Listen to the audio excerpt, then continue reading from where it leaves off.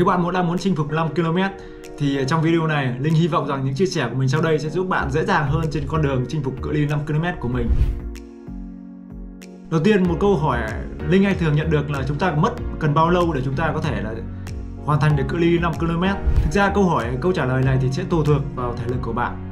Nếu bạn là một người mới chạy bộ, bạn chưa từng chạy bộ thì Linh đề nghị một mức khuyến nghị là 8 tuần thời gian để hoàn thành cái cự ly này. Còn nếu như bạn là một cái người mà đã thường xuyên vận động môn thể thao khác thì mình ờ, đề nghị một mức luyện tập là 4 tuần.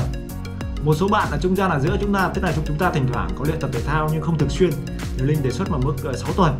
Trước tiên chúng ta sẽ đi vào một số cái nội dung khác. Bạn có là thắc mắc là tại sao 5 km lại được rất nhiều người ưa thích, đúng không?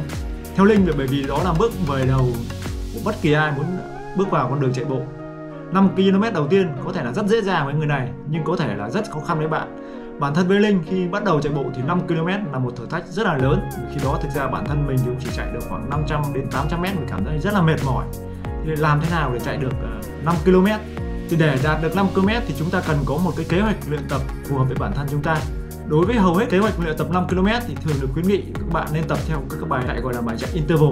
Tức là bài tập là gì? Chúng ta xen kẽ giữa chạy bộ và đi bộ. Hầu hết trong chúng ta khi mới bắt đầu chúng ta sẽ không thể chạy được một ờ, mạch 5 km. rồi nếu chúng ta cố chạy thì có thể được 2 km, 3 km.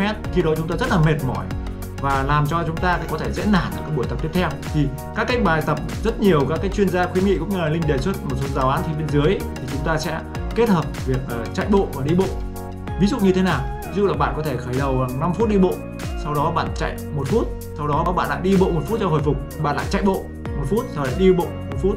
Bằng cái việc lặp lại liên tục như thế, chúng ta làm cho việc cơ thể có thể là làm quen, phục hồi, cũng như là quen dần với khối lượng vận động.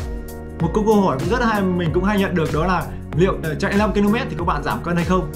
Thì mình có thể trả lời một số bạn như thế này. Nếu bạn luyện tập theo các giáo án chạy bộ 5 km bạn kiên trì thì việc bạn sẽ đạt được là gì? Bạn sẽ chinh phục được 5 km thể lực cũng như là sức khỏe tổng thể của bạn sẽ tốt lên. Ví dụ là hệ tim mạch sẽ tốt lên, hệ hô hấp cũng tốt lên và hệ cơ bắp của bạn cũng tốt lên. Bạn cũng có thể giảm được một vài cân. Bạn cũng có thể hình thành được một thói quen chạy bộ cũng như là một lối sống lành mạnh về lâu dài. Nhưng mà chạy bộ 5 km thì không giúp bạn được có một cái cơ bụng sáu múi. Do đó để trả lời câu hỏi, chạy bộ có giảm được cân hay không? Câu trả lời là có, nhưng bạn cần phải phối hợp giữa chạy bộ và kế hoạch ăn uống của bạn. Bạn chỉ có thể giảm được cân khi mà lượng calo bạn là vào cơ thể nhỏ hơn lượng calo bạn tiêu thụ. Mỗi 7.000 calo chênh lệch giúp bạn giảm đi 1 kg trọng lượng cơ thể. Kế hoạch chạy 5 km là kế hoạch dành cho tất cả mọi người khi mới bắt đầu chạy bộ. Bạn hoàn toàn có thể chạy bộ được.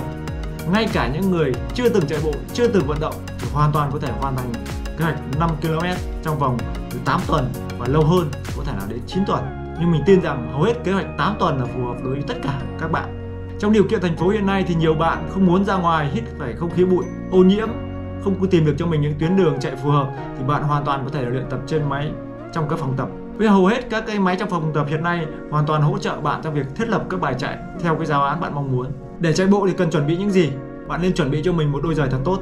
Đầu tư cho sức khỏe là một trong những món đầu tư hời nhất Do đó mình nghĩ rằng bạn nên xứng đáng thưởng cho mình một đôi giày Để bắt đầu cái quá trình chạy bộ của mình. Nó có thể là một món quà nó cũng nhưng cũng có thể là một cái vật phẩm mang lại động lực Giúp bạn kiên trì hơn trên quá trình luyện tập. Tất nhiên rồi, quần áo Bạn cũng nên sắm cho mình một vài bộ quần áo chạy bộ. Quần áo chạy bộ để giúp bạn thoáng mát trong quá trình luyện tập. Bởi vì bạn biết rằng khi chạy bộ thì lượng nhiệt cơ thể tỏa ra có thể lớn gấp 20 lần bình thường chúng ta sẽ tỏa ra rất nhiều mồ hôi do đó chúng ta cần những cái áo nhẹ thoáng. Và sau cùng uh, linh khuyến nghị bạn có một cái um, thiết bị theo dõi tức là gì? Chúng ta đơn giản bạn có thể cài rất nhiều ứng dụng có sẵn trên điện thoại như là Run Statistics, Java hay nhiều cái ứng dụng khác. Hoặc là bạn cũng có thể sắm cho mình một chiếc đồng hồ một chiếc đồng hồ thể thao thì nó giúp bạn theo dõi. Đơn giản bạn chỉ cần bắt đầu bạn thì theo dõi là thời gian mình luyện tập cái ờ, tốc độ mình đi và cái quãng đường mình đã đạt được. Khi bắt đầu chạy thì chúng ta nên chạy như thế nào? Thì chúng ta khi mới bắt đầu chạy, mình khuyến nghị các bạn nên duy trì một thói quen là khởi động. Trước khi chạy, đó là các bài tập làm nóng cơ bắp, làm lỏng cơ thể. Bạn làm lỏng cơ thể ra, làm lỏng các cơ khớp của cơ thể ra, làm nóng nó lên sẵn sàng cho quá trình chạy. Và sau khi kết thúc bài tập thì bạn nên dành từ 3 đến 5 phút để làm quá trình giãn cơ, khởi động và giãn cơ sẽ giúp bạn hạn chế cái việc chấn thương rất là nhiều một trong những sai lầm của các bạn khi mới bắt đầu chạy bộ là chúng ta thường bắt đầu chạy với tốc độ quá nhanh. Chính điều này làm cho chúng ta trở nên nhanh nhanh mệt mỏi và nhanh nản. Và khi mới chạy thì rất nhiều bạn có tâm lý là so sánh là chúng ta so với người xung quanh so với người bên cạnh so với một người bạn mình biết và mình cảm giác là mình đang chạy quá chậm. Nhưng tuy nhiên là mình uh, khuyên các bạn hãy chạy với tốc độ chậm. Thế nào là một tốc độ chạy à, chậm thoải mái? Thì à, bạn hãy chạy ở cái tốc độ mà tại đó bạn có thể nói chuyện với một, một người bạn bên cạnh. Đó là một tốc độ phù hợp bằng các cái um, ứng dụng đo cảm biến uh, về nhịp tim. Ví dụ như chiếc những chiếc đồng hồ thể thao giúp bạn biết rằng là hầu hết bạn nên chạy ở zone 2 tức là cái vùng hoạt động của tim mà tương đối thoải mái. Bạn tại đó bạn vẫn có thể trò chuyện với người bạn. Còn nếu bạn bị đau trong quá trình chạy thì sao? Hầu hết các bạn khi mới bắt đầu chạy các bạn sẽ bị đau. Bởi vì đó là hầu hết đó chúng ta sẽ bị đau ở cái vấn đề về đau cơ.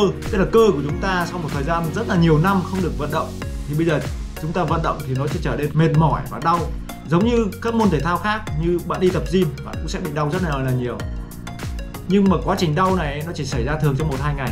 Lâu thì có thể kéo dài đến 3 4 ngày thì là bạn có thể hồi phục. Nên nên đối với các hoạt động về đau cơ thì bạn cũng không cần quá lo lắng chỉ cần 2 đến 3 ngày. Lâu thì có thể 3 đến 4 ngày nó sẽ đã hòa hồi phục và nó giúp bạn trở nên khỏe mạnh hơn. Nhưng tuy nhiên khi bạn gặp phải một nỗi đau mà kéo dài thì bạn cần có sự thăm khám của bác sĩ nếu sau 2-3 ngày bạn nghỉ ngơi mà không thấy sự cải thiện, hãy thăm khám bác sĩ hoặc tham gia của các cái chuyên gia ờ, thể chất giúp bạn có những lời khuyên phù hợp. Chúng ta cần ăn gì trước, trong và sau khi chạy? Theo mình thì ờ, luyện tập cho 5 km thì hầu hết các bài tập chúng ta là các bài tập ngắn. Thông thường chỉ ờ, kéo dài từ 30 đến 40 phút, nên theo mình thì cũng không quá nặng nề cái chuyện ăn uống. Bạn có thể có một bữa ăn nhẹ, ví dụ như ăn cái bánh hoặc là quả chuối gì đó tốt nhất, nên ăn trước khoảng một tiếng trước khi chạy thì nó tránh cái chuyện hiện tượng bị sóc bụng. Còn trong khi chạy thì mình nghĩ rằng với khoảng thời gian đó thì bạn cũng chưa cần thiết phải ăn uống.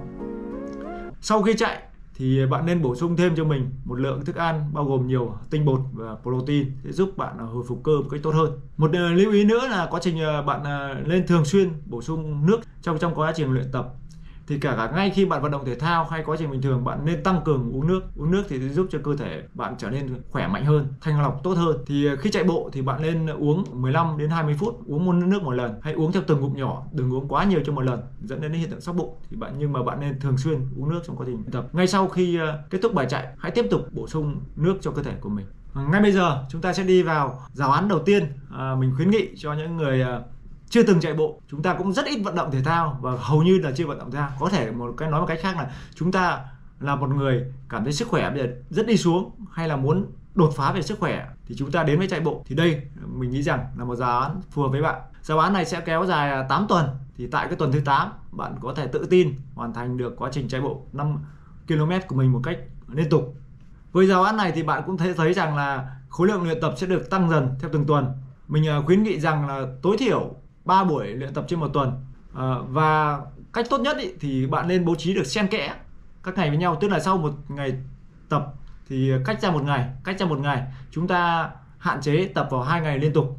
Tuy nhiên nếu mà do một lý do nào đấy bạn không thể sắp xếp thời gian mà tập 3 ngày liên tục thì thực ra khi đó nó vẫn tốt hơn là bạn không tập. Xen kẽ giữa các ngày tập thì mình khuyến nghị bạn là có thể bổ sung thêm các môn thể thao khác. Ví dụ như là đi bộ tập yoga Ờ, vào phòng tập gym hay là đạp xe, bơi lội bằng các hoạt động bổ trợ như thế thì sẽ giúp cho ờ, cái hoạt động chạy bộ của bạn trở nên dễ dàng hơn. Trong tuần đầu tiên bạn sẽ bắt đầu bằng 5 phút đi bộ chạy 1 phút nghỉ ờ, 1,5 phút tức là 1,5 phút bạn đi bộ đấy sau đó bạn lặp lại 8 lần. Thì tổng cái quá trình này là bạn ờ, mất 20 phút cộng thêm sau đó thì bạn đi bộ thêm khoảng 5 phút nữa. Thì là bạn tổng một bài tập bạn sẽ có 30 phút. À, cái bài tập này lặp lại 3 ngày trong tuần. Sang uh, tuần thứ hai thì bạn thấy rằng là quá trình uh, thời gian chạy bạn đã tăng lên. Bạn tăng lên chạy 1,5 phút và đi bộ 2 phút và lặp lại 6 lần. Lưu ý là bắt đầu và kết thúc bài tập chúng ta đều có 5 phút đi bộ đến tuần thứ ba thì bạn đã có thể là chạy à, 2 phút và đi bộ 2 phút. Đến tuần à, thứ tư thì bạn có thể tăng lên là chạy 4 phút và đi bộ 2,5 phút. Đến tuần thứ năm bạn có thể chạy 5 phút và có thể chạy một mạch. Mình nghĩ rằng có thể chạy một mạch 20 phút. Tuần thứ sáu là 25 phút, tuần thứ bảy là cũng là 25 phút. Tuần thứ 8 sẵn sàng cho cuộc đua 5 km. Ở giáo án thứ hai là giáo án dành cho những người đã luyện tập thể thao ở các môn khác nhưng không quá thường xuyên hoặc đã từng chạy bộ trước đây nhưng lại bỏ bỏ chạy. Và sau rất nhiều thời gian chúng ta quay trở lại. Thì giáo án này mình đề xuất là à, 6 tuần.